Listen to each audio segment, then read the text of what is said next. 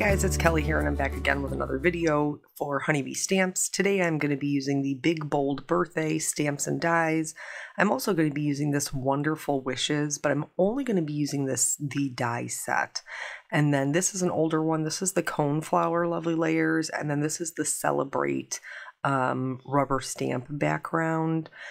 So the if you haven't seen the Wonderful Wishes, um, die set. It actually has a stencil that goes with it for you to be able to stencil these beautiful florals onto this cake. But I wanted to use it a little bit differently because you guys know I like using my products a little bit more um, versatile. So before we get too far along, this is part of the Celebrate Release video hop for Honeybee celebrating their nine year anniversary, if you can even believe that. Um, and there will be doing a giveaway of two $50 gift cards. So make sure you continue hopping along. If you're just stopping on my channel to see mine, I have another video over on the Honeybee channel. I actually got to kick off the hop. um, so that one is uh, instructional. So here I wanted a to do a white on white background. I didn't want it to be plain. Um, I wanted there to be a little something going on in the background. And so I decided to do some white on white heat embossing. So I have some Neenah 80 pound solar white cardstock and I'm inking this up with the Brilliant White pigment ink from Honeybee. Now in order to use these red rubber stamps in your MISTI, you do want to go ahead and remove that foam insert because the red rubber stamps have the foam built in. And right out the gate, we had a, a situation, and here it is. Okay, normally I stamp mine twice. Um, and it actually picked up my paper up off my sticky mat. So rather than remove it, I decided I was going to use a scrap piece to just lay it over top and hold it steady with one hand and smooth it over with the other. Since I wasn't going to be able to get a second impression, this would ensure that I was going to get a good impression. And then um, I used my white detail embossing powder to heat emboss with. Now you can see I have used this quite a bit. My jar is about halfway gone. So I do have to dump my excess back into my jar uh, in order to be able to do it a second time. I always preheat my heat gun before I bring it to my paper um, just to make sure that it's not, you know, warping or anything. And especially when you have this much embossing going on in the background, it's definitely more at risk for warping. So preheating your gun will be helpful. And then what I like to do is I like to get one corner, um, like I heat it all over, but I like to get one corner melted. And then once that cools, it gives me something to kind of grab onto since this embossing does go edge to edge. Um, and obviously you could you know cut your piece a little bit bigger but i quite honestly i don't want to waste the cardstock. So i'm just being real with y'all so this is the cake portion and like because it cuts out separately i do think you could use a lot of different stencils or 3d embossing folders or whatever to decorate your cake but i decided to keep it really simple um, and i was just going to do a watercolor background now, I'm showing you the whole process, even though it doesn't end up looking like this, because I think it's important to share kind of the um, the evolution of a card, if you will. And so originally, I was kind of creating this look of like this watercolor look, and you do see these on cakes. Um, you know, that was like this kind of gradient, which was from villainous potion to seedless preserves to picked raspberry to mustard seed and um, I'm being, you know, I'm just kind of like putting it down in a line. It wasn't dark enough. Watercolor always dries back lighter, and so I decided to do a second layer, and then I did add, a, you know, some spatters of, you know, each of the colors, and then I also added just a little bit more water as well, um, and then I kind of set that. Uh, that aside so I could wipe up my extra pigment and then I did dry it down. Now, I knew from the very beginning, that's why you saw me cut the base of the cake holder out of brushed gold cardstock. I knew that I wanted to add um, some gold accents here. And this, again, is something that's super popular in cake decorating. I don't know if I'm the only one who pays attention to that stuff, but it pops up on my feed and I think it's really interesting. Um, but like you'll see gold foils um, or you know gold worked into like the pearls or you know different things like that. So i decided that i was going to do some gold spatters with my perfect pearls and then i was going to give myself kind of like a painted watercolor edge at the bottom. I also did some spatters onto my white on white background just to tie the background in. Now the vast majority of those spatters on the white background you aren't actually going to be able to to see uh, because our cake is so large, um, but that's okay. So here's me painting in the bottom layer, just again, very organic shapes. I'm kind of following. Um, you know some of the uh, spatters that are close to each other and just you know working to connect them and i think that this is a really really fun way to decorate this cake and i would absolutely recommend doing it and may i may do it again in the future but it ain't gonna end up looking like this guys because sometimes it just don't work out. So for my cone flower, which I don't know if you guys um, remember this or not, but this is actually I think the very first Lovely Layer set that they came out with. So this is like an oldie but a goodie. So if you've just come around to Honeybee in the last, you know, maybe like year or so, maybe this isn't one that you've seen.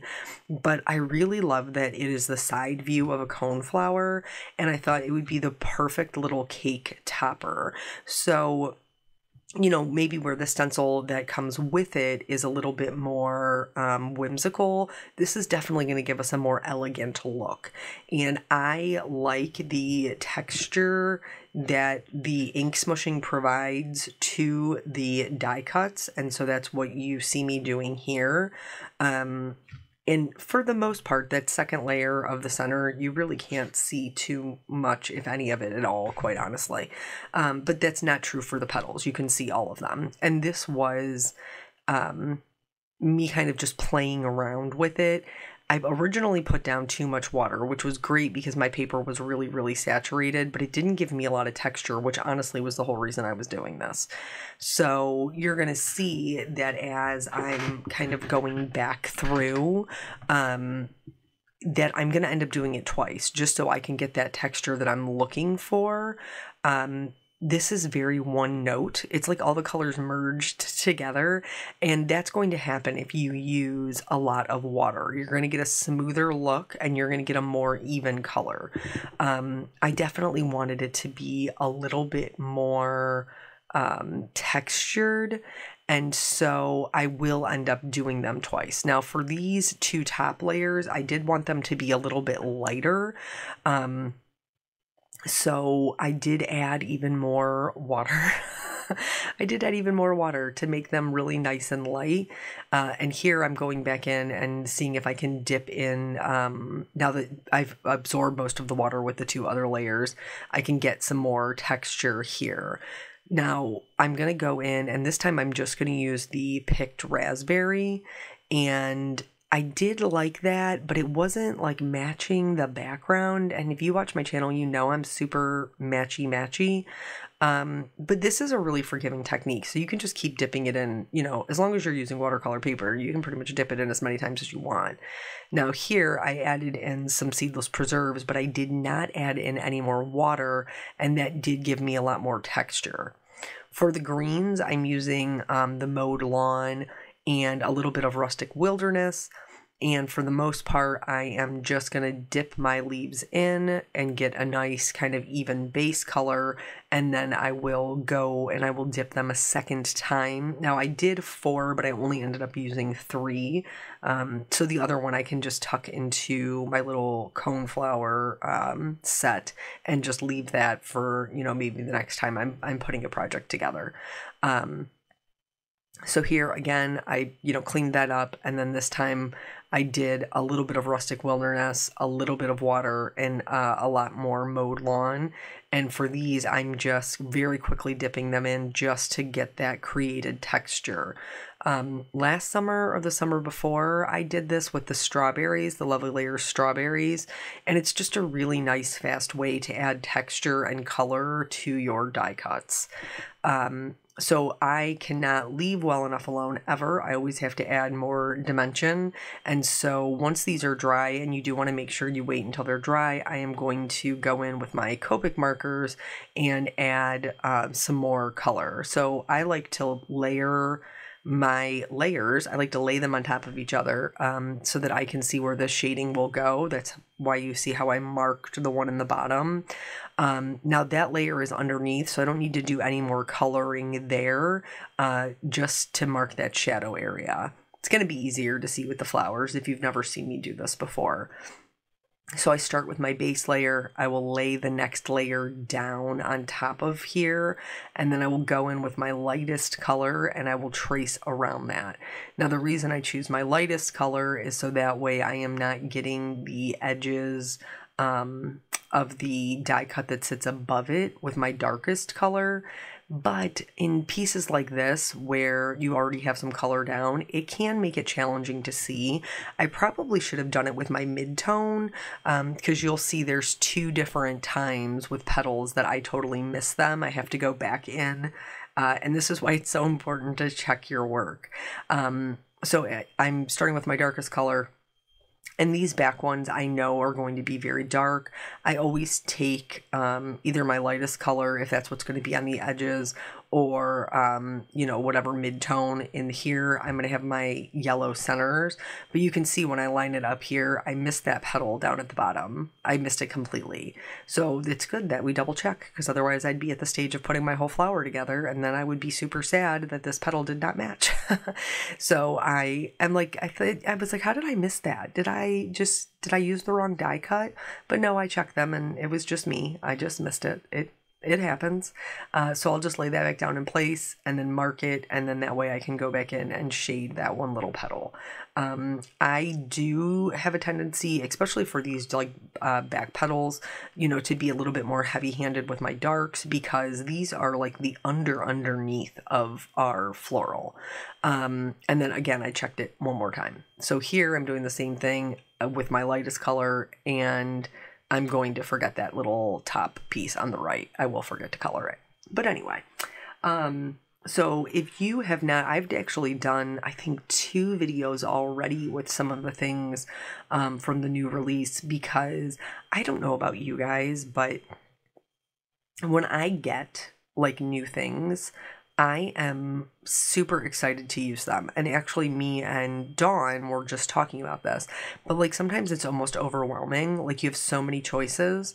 Um, so I like to break them down um, and look at them. You know, like for for this one. Um, looking at the wonderful wishes. So I've got the stencil, I've got the die. Okay.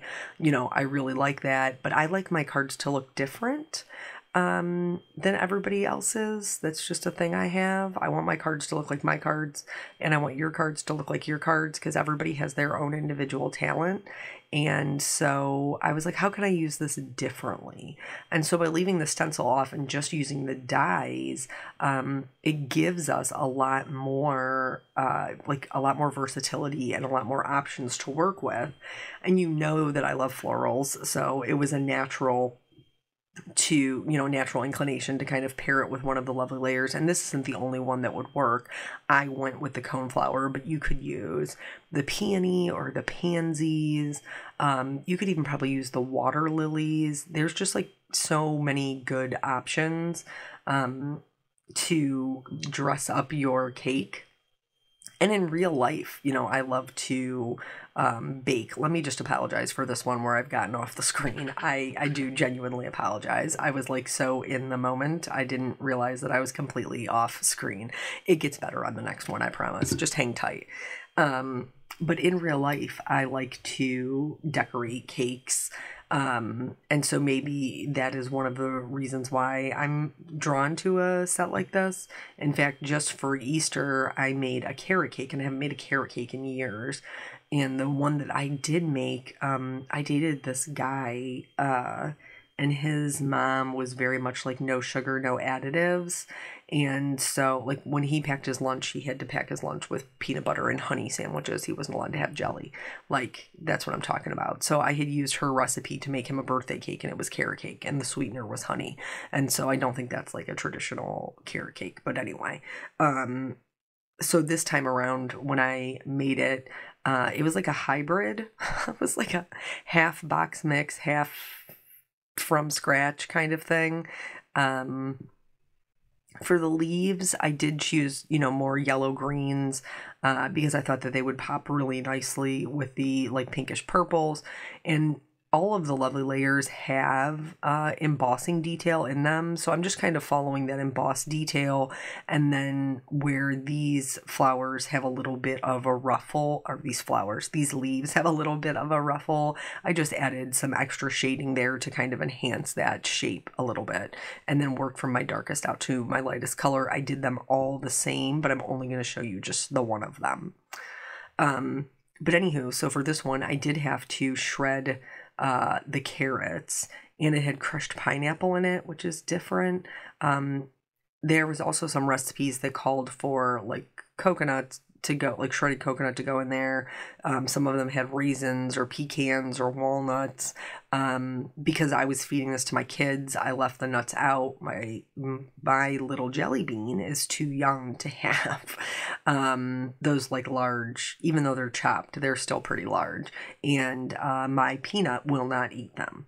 So I left those out. My mother in law doesn't like raisins, so I left those out. And the coconut I left out, honestly, just because I forgot it. so um, it still ended up being fine. It was a very uh, moist cake, which is the only instance in which that word is acceptable. Um, and so when I was trying to put on my cream cheese frosting, I. Um, I kept running into the problem of it pulling up my cake. Like it was literally pulling up the layers of my cake. Uh, so it was not the prettiest cake I ever made, and but it was it was yummy. It was still tasty. Like ten out of ten would make again. The bite the box mix you use is spice cake, which totally makes sense. Um, so here we're putting the uh, flower together. Um, so I layered them all up and they all line up. Uh, I did have issues where I wasn't paying good enough attention to one of the petals kind of in the bottom left. And so it doesn't line up perfectly. But is it close enough for government work? Yes, it is. But because I didn't line that up, I can see that I have some empty areas in between.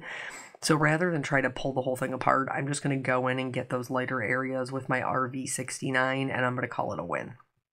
Sometimes it just be like that. So for the sentiment, I wanted to uh, make sure that I was using that same gold to tie everything in.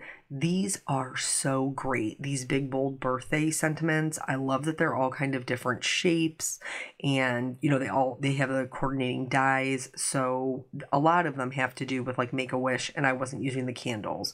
So I chose this one that says celebrate your big day with cake and um, I am doing this on some more watercolor paper because I knew that I wanted to color it to be like the same color of the cake so that it would sit on top like it would be popped up and you'd be it would be more legible but it would still blend into my cake base.